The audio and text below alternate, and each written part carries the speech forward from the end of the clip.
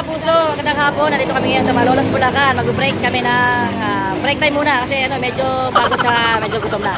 So, nandito kami ngayon sa Mama Lots. Yan. So, nagpaluto kami ng pansit at saka bumili kami ng ice cream. Yan. So, masarap ang pansit dito. Sa mga riders na mga madalas dumaan dito sa Malolos, sigurado, sigurado dito kayo dumadaan, eh, no? Sigurado dito kayo dumadaan. Nire-recommend ko sa inyo na itong Mama ay sobrang sarap pag magluto sila ng mga pansit. At mura pa, ayan ang mga orders nila. Oh. Yan. So, papakita namin sa inyo dito sa loob. Ayan yung mga pagkain nila. Ayan yung menu nila. So, kung gusto yung uh, mag-order dyan, mamili na po kayo dyan. Diba? So, pasyaran nyo na lang po yan dito sa, ano, sa Malolos, Bulacan. Pagbaba lang to ng ano eh. Basta malapit lang. O, ayan, basta dito lang. Pag ah, nasa ano siya, ah, northbound, papuntang Manila, nasa kanan.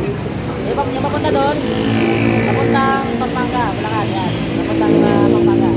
So, dito lang yan, along ah, highway. Okay? So, mga ka-riders dyan, magmamalots na sisling. Sisling, ano yan? Mamalots. Sisling house. Alright? So, ayan po yung ano, order namin na pansit, tsaka yung isa. Ayan, bali, isang order lang po yan, dalawa.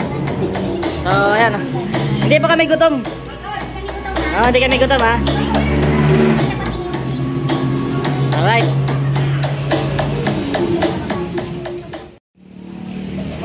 So, patay na.